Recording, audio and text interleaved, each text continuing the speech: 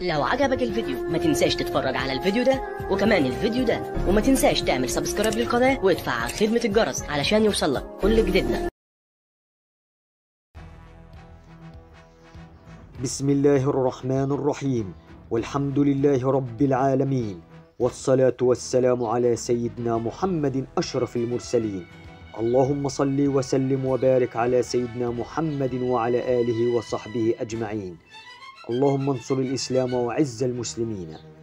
اللهم إني أعوذ بك من الهم والحزن وأعوذ بك من العجز والكسل وأعوذ بك من غلبة الدين وقهر الرجال. اللهم إني أعوذ بك من الفقر إلا إليك ومن الذل إلا لك ومن الخوف إلا منك. وأعوذ بك أن أقول زورا أو أغشى فجورا أو أكون بك مغرورا.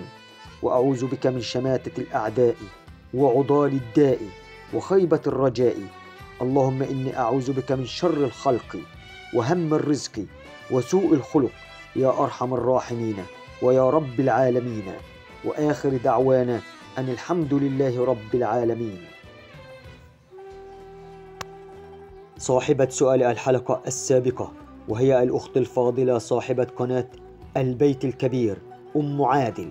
ولها مني جزيل الشكر والتقدير. ولكل من شاهد الفيديو وعلق عليه.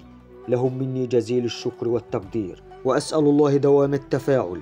وكما أجابت النبي الكريم الذي كان وزيرا لسيدنا موسى عليه السلام وهو سيدنا هارون عليه السلام.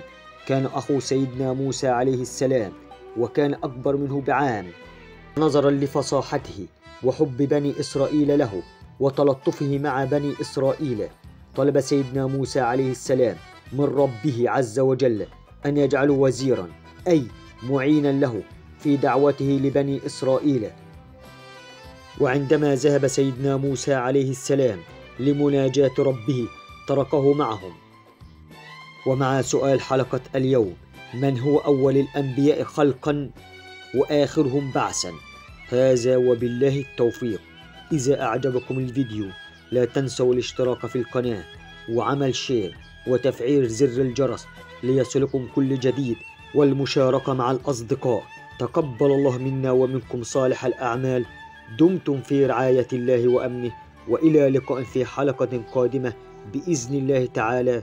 والسلام عليكم ورحمة الله وبركاته.